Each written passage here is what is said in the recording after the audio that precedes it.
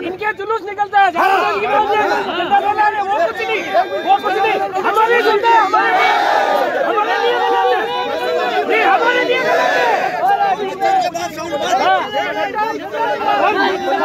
ये बात सुन कर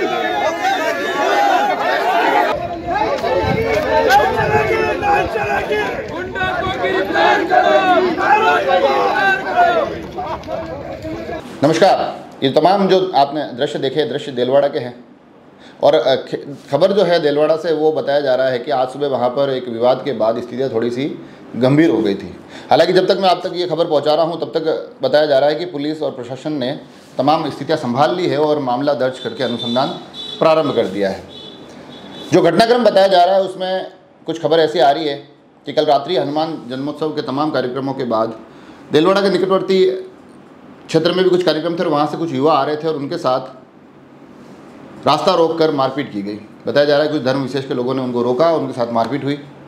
इस पूरे विषय को लेकर आज देलवाड़ा में स्थितियाँ थोड़ी तनावपूर्ण रही और बड़ी संख्या में ग्रामीण इकट्ठे हुए, उन्होंने दिलवाड़ा के बाज़ार का आज बंद रखा और उसके बाद पुलिस थाने पहुँचे, जहाँ उन्होंने अपना आक्रोश और विरोध प्रदर्शन किया, अपना विरोध दर्ज करवाया। रिकॉर्डिंग में नज़र आ रहा है। हाँ पूरा नज़र आ रहा है वो। लिया है है। हाँ। वो टाइमिंग क्या है? दस दस- पैंतीस।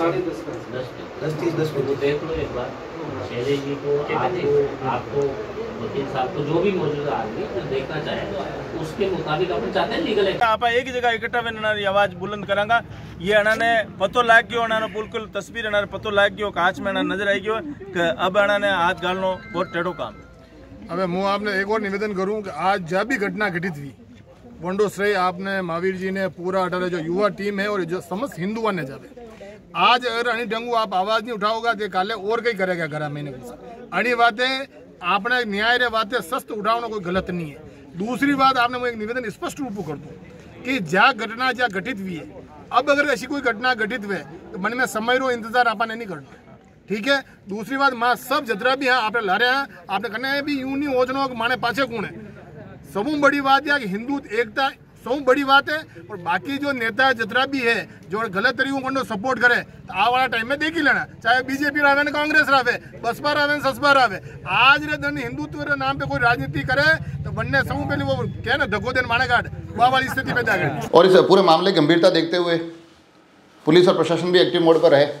राजसमंद पुलिस के उप अधीक्षक शिवलाल बेरवा मौके पर मौजूद रहे, उनके साथ आला तमाम पुलिस अधिकारी, उस क्षेत्र के प्रशासनिक अधिकारी मौके पर मौजूद रहे उन लोगों से वार्ता के बाद त्वरित कार्रवाई करते हुए कुछ गिरफ्तारियाँ भी हुई है और अलग अलग धाराओं में मामला दर्ज करके आगे का अनुसंधान जारी है। मुकदमो दर्ज भी क्यों है। धारा एक सौ सैतालीस, अड़तालीस, उनपचास, तीन सौ आठ आई पी सी दो सौ पिचानवे ए की धाराएँ लग चुकी है। नॉन अवेलेबल धारा है सेशन ट्रायल है। मेडिकल हो गया है केतन का।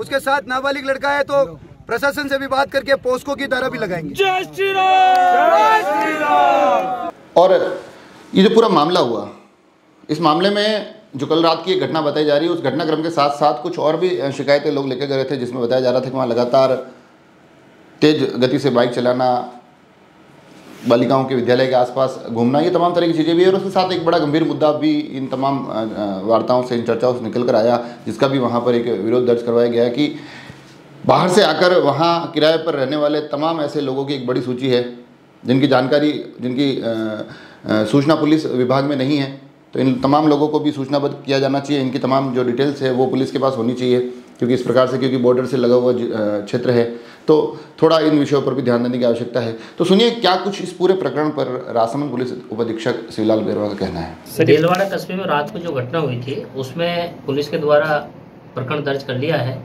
प्रकरण सख्त से सख्त धाराओं में दर्ज किया है।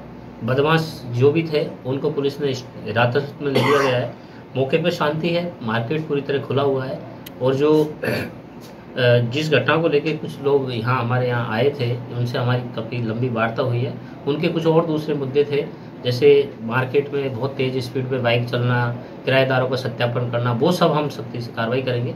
और मैं आम जन से भी अपील करूँगा कि किराएदार का जो कोई किराएदार है, उसमें मकान मालिक की उतनी ज़िम्मेदारी है कि किराएदार का सत्यापन के लिए एक तहरीर पुलिस या थाना, संबंधित थाना अधिकारी को दे दें, ताकि समय रहते हुए उसका सत्यापन किया जा सके। बाहर के लोग होते हैं, नया इंडस्ट्रियलाइजेशन हो रहा है इस एरिया में देरवाड़ा कस्बे में तो जो मजदूर तबका आता है, हम उसमें पर्चा भी की कार्रवाई तो करेंगे ही। जो संदिग्ध है, उनको पुलिस अपने लेवल पर करेगी। लेकिन जो मकान मालिक रखना चाहता है, किराएदार, उनका सत्यापन के लिए पुलिस को अवश्य सूचित करें, ताकि समय रहते हुए बाकी हम डोर टू डोर सर्वे करवा के किराएदारों का कस्बे में देलवाड़ा कस्बे में सत्यापन करेंगे एक सर जिस तरह से लड़कियों को लेकर जो छुट्टी होती है तब बाइक का हाँ ये एक आया था कि स्कूल के बाहर में कुछ बदमाश टाइप के बच्चे हैं जो भी बाइक से स्टंट करते हैं बच्चियों को ईव टीचिंग करेंगे। स्कूल के टाइम पे भी हम यहाँ संबंधित थाने से दो सिपाही हमेशा के लिए जब बच्चियाँ जाती है स्कूल और जब बच्चियाँ आती है उस टाइम पर हम तैनात करेंगे ताकि इस तरह की जो कोई ईव टीचिंग की कोई बात होती है तो उसको भी रोका जा सके।